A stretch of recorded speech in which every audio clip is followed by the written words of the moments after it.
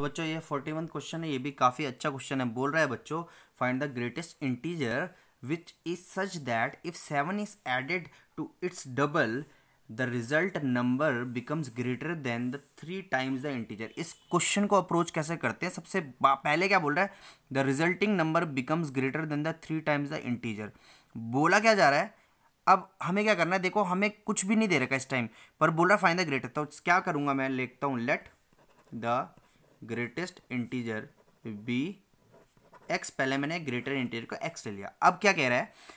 Which is such that seven is added to its double its double मतलब जो सात है, वो क्या कर रहा है? जो सात है, वो added to its double its double मतलब ग्रेटेस्ट इंटीजर का डबल ग्रेटेस्ट इंटीजर का डबल तो टू एक्स हो जाएगा। ठीक है? And the resulting number becomes greater than resulting number becomes greater than three times the integer three times the integer देखो, कितना इजी हो गया। बस, कुछ करना ही नहीं, वही जो आप कर ही रहे थे उतनी देर से, वही करना है। इस टू को इधर फेंक देंगे तो सेवन इज़ ग्रेटर देन क्या हो जाएगा?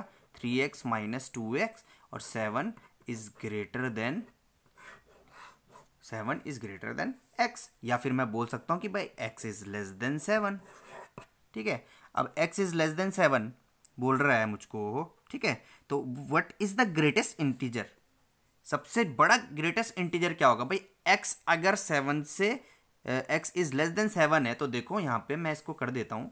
तो भाई यहाँ पे देखो एक्स अगर लेस देन सेवन है तो इंटीजर में तो भाई नेगेटिव नेगेटिव इन्फिनिटी से लेके और यहाँ पे one two three four five और सिक्स क्योंकि less than equals to seven नहीं बोला उसने लेस देन सेवन बोला। लेस देन सेवन में तो सबसे ग्रेटेस्ट नंबर क्या होगा? छः होगा ना?